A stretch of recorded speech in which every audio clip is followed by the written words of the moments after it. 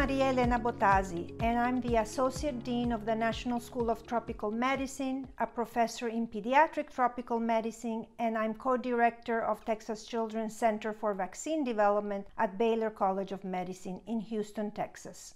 As a microbiologist and a vaccine scientist, my work focuses on developing and testing safe, effective, scalable, and affordable vaccine prototypes against many tropical and emerging diseases for use worldwide.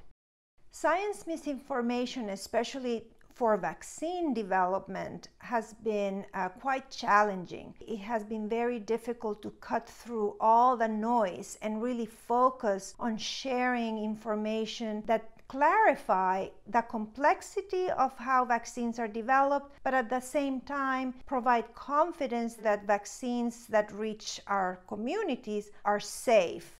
So, my role has really been to demystify some of this information, especially when people are hesitant because they think that vaccines were developed quite rushed or that in fact they may not be safe. So, sharing some evidence about how we develop vaccines and how rigorous the process is intends to boost confidence throughout the vaccine development ecosystem. So, I have three criteria and tips that I would like to share with you. First, I rely on a network of interdisciplinary colleagues to actually educate myself first and even outside of my own field of expertise. Second, I also share my knowledge as stories and try to make them personal. For example, when I'm speaking to audiences in my home country, Honduras, I really personalize and try to relate my stories to them such that they can be useful for, for, their everyday lives. And third, I listen. I think that's very important. I encourage participation. Science engagement has to be a two way street. If you currently feel nervous or you think that you don't have the experience of how to engage and do science communication, this is my advice for you. Just be yourself, tell your own story. It's crucial and extremely important to rely on expert sources of information that I could then follow their recommendation on how to best avoid or counter misinformation. So, for example, I definitely read publications such as those from the AAAS science journals, and also follow closely the briefings and statements that come out from the Lancet Commission, the Vaccine Refusal, Acceptance and Demand in the USA, as well as the Vaccine Confidence Project, which is run out of the United Kingdom London School of Tropical Medicine and Hygiene.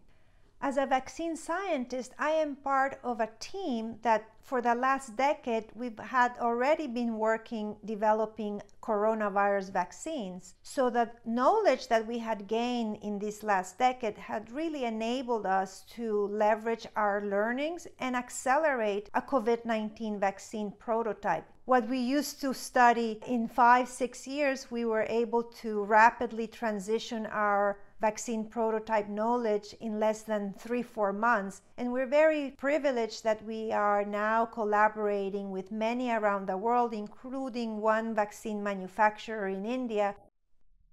To tell you a little bit about my story, I was born in Italy, but then I was raised in Honduras in Central America. There, I trained as a microbiologist and learned how diseases really afflict many of the poorest populations in countries such as Honduras. I was then very fortunate to be able to travel to the United States and get an advanced degree.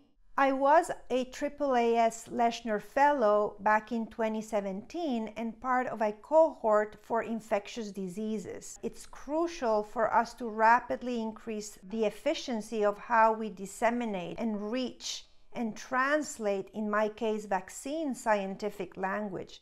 So, importantly, I believe that my training really helped me shape the fact that my information and how I disseminate it not only has to be understandable, but it actually has to be constructive for others, such that then they themselves can take that information and use it to make their own decisions, especially their own health decisions, but at the same time, make decisions that could benefit the health of a community. AAAS is amazing. it really enables the advancement of science. And it does that by really anchoring and convening trusted scientific evidence based information. But I think most importantly, it gives us a voice a voice for all of us to promote and defend and foster why science and technology is so important, especially when we're trying to address very complex global health problems. So I urge everyone please go get vaccinated. Vaccines are absolutely no use unless vaccinations occur and people use the vaccine. Remember, right now, they are an enormous benefit, an enormous benefit to your own health, to the health of your community, and eventually to be able to come back to a healthy world and try to destroy this COVID 19 pandemic.